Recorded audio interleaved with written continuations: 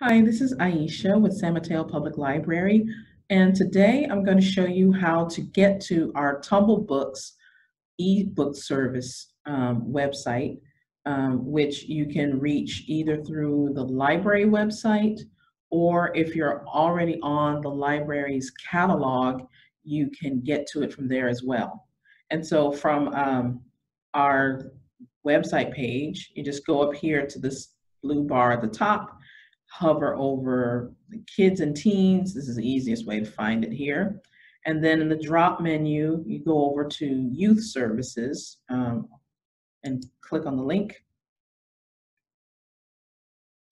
And here are all the youth uh, resources, rather. Here are all the youth resources that we have um, with databases and educational sites where you can um, look up information, articles. Um, there's some books on, on here as well that you can access all for free with your library card. And I will scroll down to the bottom and here's the link to the Tumble Book Library from the library's website main page. And you'll see over here to the side is this little button that um, it says PLS. So that means that that tells you that you can if you can you don't have to necessarily live in San Mateo and have a San Mateo Public Library card to use this resource. Um, and so if if you're using any of our databases, um, they'll all have these little uh, buttons as a guide next to the the link to show you what type of library card you might need to use to access the service. And so to get to the same point from the library catalog, I'll click here. Here's the main page of the catalog. Um, just go here in this green menu bar to get it online. And we're going to click eBooks. And so this has all of the ebooks uh, and uh, media services that we have on, on one page. So we just need to scroll down to search for ebooks for children.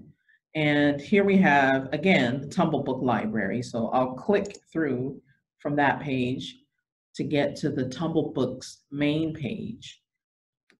And as you can see, okay, yes, I will accept the cookies. And as you can see, TumbleBooks is full of picture books, um, these are all separated into cat, uh, neatly into categories on the main page. Um, there's quick reads. Um, there's here's a specific publisher that's all grouped together. Um, there are read-alongs that are available for younger kids and older kids who are already reading chapter books. Uh, Tumble Tunes, there's music. There's music here, and um, TumbleBooks also has short videos and let me scroll back up to the top. So here is, um, these colorful tabs are another, uh, are the menu for the site. So there are storybooks, there's read-alongs, there's nonfiction, there are short videos uh, that are pretty cool. Uh, there's a few language learning um, books and programs. Uh, you can create playlists of your own. So if you want to keep a collection of books that you want to play or to read all, you know, during one setting, you can do that. And there are also puzzles and games for kids to play. Uh, and I'll show you first. Let's, see, let's click on storybooks.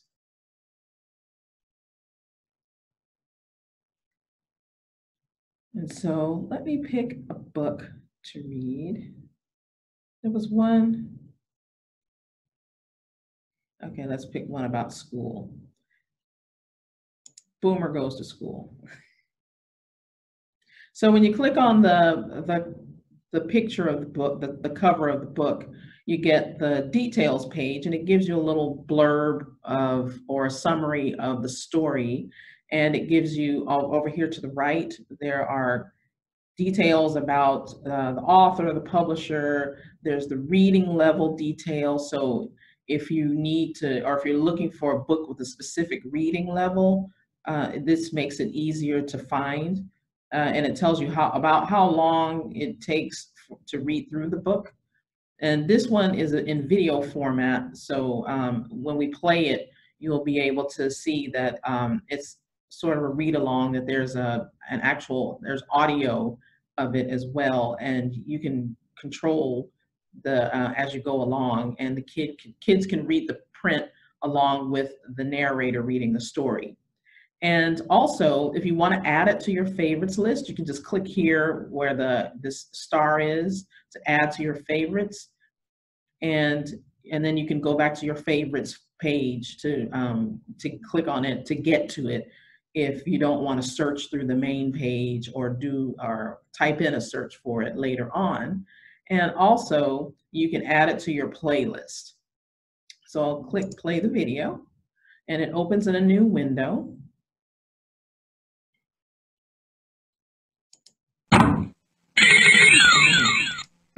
Turn the volume up.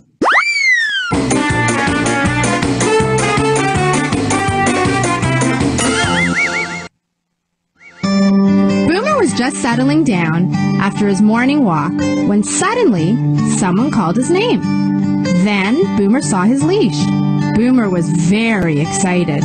He thought he was going for another walk.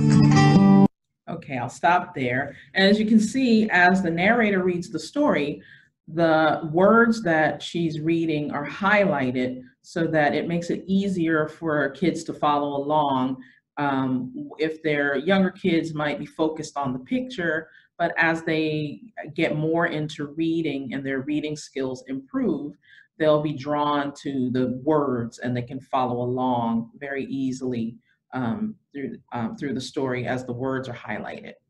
So I'll close this book and I want to show you now, let's go to nonfiction. So here's a nonfiction collection. And again, there's um, they're neatly organized into different browsable categories. There's science, biography, insects. Here's one of my favorite insect books. Uh, seasons and videos. Let's see what they have in the videos. There are National Geographic videos. There's history, space and technology, biology, geography, earth science, social studies, and so on.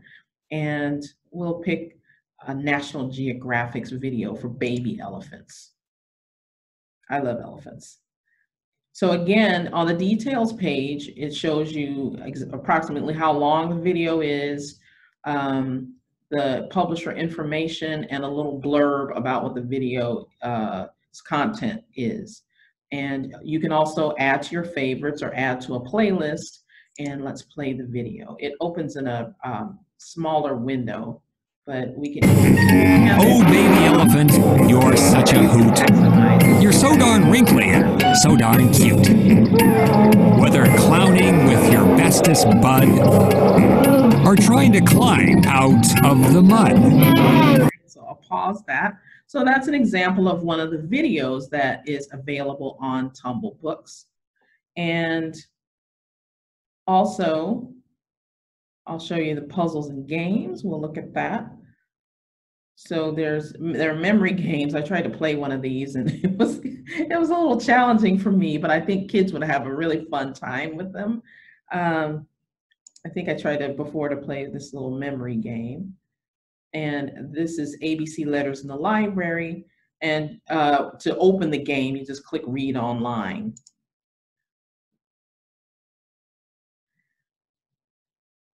And so this game is just like the memory game you would play with a deck of cards, is that you click on the tile and you click on another tile and it shows you what's behind the, the gray square.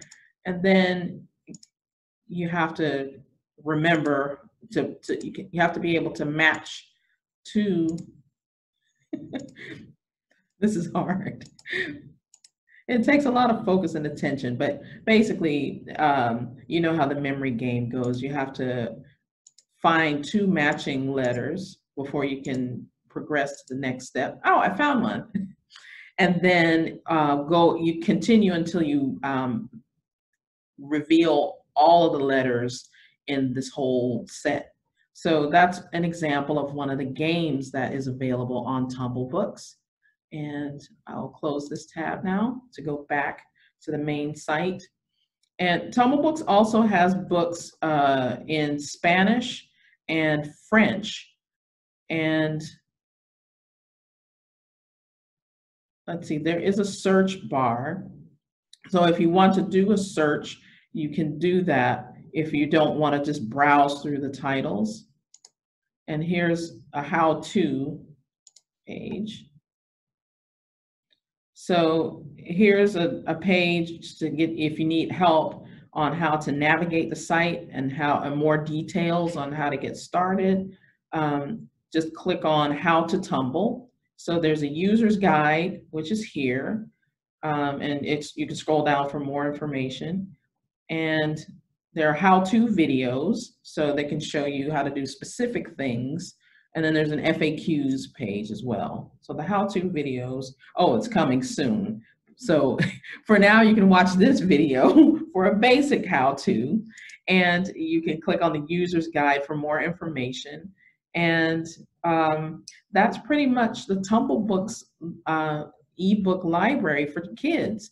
It's very resourceful and it's we recommend it for teachers, um, uh, elementary school teachers and preschool teachers, as well as homeschoolers and for just kids and families who are looking for something extra to read. If you've run out of print books and you haven't refreshed your supply, or if you have, want a fun game, excuse me, a fun game to play um, that's short and sweet, or if you want to create a playlist of your own and um, create a timed playlist for a specific purpose or project, then you can do that too. It has a lot of capabilities and functionalities. And there are a lot of very um, good stories and books here. And I also want to point out again that there are books here for older kids as well. So there are chapter books included in the collection. So they're most, while they're mostly read-alongs and picture books, the chapter books for older kids also have a read-along, I have an audio function. So kids can click through and read on their own independently if they want to, but they can also click on an audio option that will have a narrator reading as they go along through the print. So that's pretty much, that's a basic demonstration of TumbleBooks Library. And if you have more information, please contact the, the Children's Department at the library.